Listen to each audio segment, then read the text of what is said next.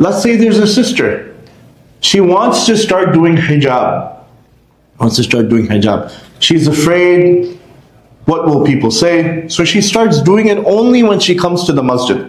She doesn't do it outside. She's not as comfortable and as confident yet. Yes, it's an order of Allah subhanahu wa ta'ala.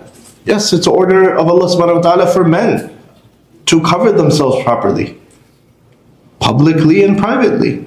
But sometimes men don't cover themselves pro- properly as well. We wear these tiny shorts like this. And we think we're doing a good job. No, not doing a good job. So don't look at the sisters all the time. Look at the brothers and look at yourself sometimes too when we do something wrong.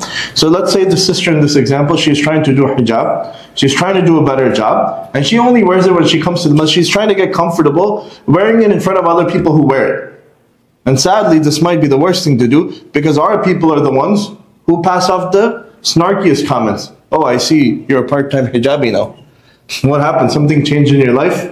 Are you trying to get married? This person's just trying to get closer to Allah subhanahu wa ta'ala, trying to do a better job, possibly be able to wear it on campus. Now because of your snarky comments, now because of your arrogant comments, this person has been driven further away from doing hijab. This person has been driven further away from salah. This person has been driven further away from Islam unto itself.